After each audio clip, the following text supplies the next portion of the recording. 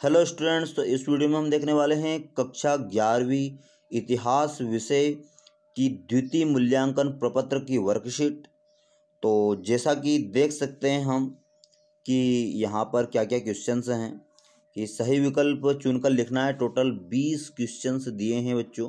और इससे पहले कि यदि आपने हमारे चैनल को सब्सक्राइब नहीं किया है तो कर लीजिएगा। तो आइए देखते हैं क्या है क्वेश्चन और लास्ट में हम आपको ये भी बताएँगे कि इनके सॉल्यूशन हम आप कहाँ से ढूंढ सकते हो बच्चों? तो प्राचीन मेसोपोटामिया प्रदेश किन किन दो नदियों के बीच स्थित था? उत्तरी मेसोपोटामिया के मैदानों में खेती की शुरुआत कब से मानी जाती है बच्चों? उसके बाद नेक्स्ट है सिख दरिया के टॉलेसी की पुस्तक का नाम क्या था? तो आपको ढूंढना है कि क्या था उनकी पुस्तक का नाम। उसके बाद क्योपेट्रा कौन थी? पैगंबर मोहम्मद का जन्म कब हुआ था? उसके बाद बच्चों, यहाँ पर पैगंबर मोहम्मद व उनके साथी मक्का छोड़कर मदीना कब गए थे?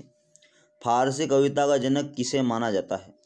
तो बच्चों, इन सभी का जो डेली होमवर्क इस्माइल में हम करते थे तो इनका सॉल्यूशन बच्चों हम ज़रूर देते थे। तो यहाँ पर आप को या आपने यदि smile three point zero homework attend किया होगा तो आप बिल्कुल इन सभी प्रश्नों के आंसर आसानी से दे सकते हो बच्चों।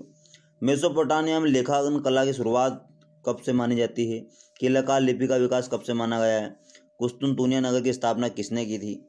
रोमन साम्राज्य के प्रथम शासक कौन थे? पेगम मोहम्मद ने कब अपने आप को खुदा का संदेश वाहक यानी कि रसूल घोषित किया? पैगंबर मोहम्मद का देहांत कब हुआ था? उसके बाद मंगोलों ने बगदाद पर कब्जा कब किया? पैगंबर मोहम्मद का आठ चार सौ चार सौ चार सौ। जी हाँ याद कर लीजिए व्हाट्सअप नंबर, क्योंकि अब चाहे आपका मैथ्स का सवाल हो या फिजिक्स, केमिस्ट्री, बायोलॉजी का, आपके हर डाउट, हर क्वेश्चन का मिलेगा तुरंत वीडियो सोल्यूशन, वो भी सीधा आपके व्हाट्सएप पर। बस अपने फ़ोन में डाउट नट का आठ चार सौ चार सौ चार सौ व्हाट्सअप नंबर सेव कर लीजिए और चैट ओपन कीजिए। फिर जो भी आपका डाउट है, उस सवाल की आपको बस फ़ोटो खींचनी है, उसे क्रॉप करना है और पाँच सेकंड में आपको उसका वीडियो सोल्यूशन मिल जाएगा। क्लास छः से बारह I I T JEE, NEET CBSE boards और सभी स्टेट बोर्ड्स के बच्चों के लिए। तो देर किस बात की? अभी जाइए आठ चार सौ चार सौ चार सौ पर अपना सवाल व्हाट्सएप कीजिए और अपने सभी डाउट्स को आउट कीजिए। लिंक डिस्क्रिप्शन में। हम रहस्योत्तर गार्डन सार्वजनिक उपदेश कब दिया? सिकंदर ने बेबी, बेबीलोन पर विजय कब प्राप्त की? मेसोपोटामिया में लोहे का प्रयोग कब से प्रारंभ हुआ? उसके बाद दिनारियस था रोम का एक क्या था मतलब आपको बताना है। उसके बाद ईरान में ससानी वंश की स्थापना कब हुई थी? पैगंबर मोहम्मद की शादी किससे हुई थी?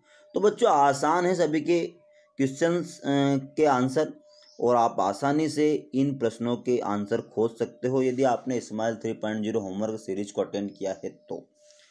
तो इसी प्रकार के डेली होमवर्क सॉल्यूशन के लिए हमारे चैनल को ज़रूर सब्सक्राइब कीजिए। परख आपकी कर, आपको खुद की करनी है।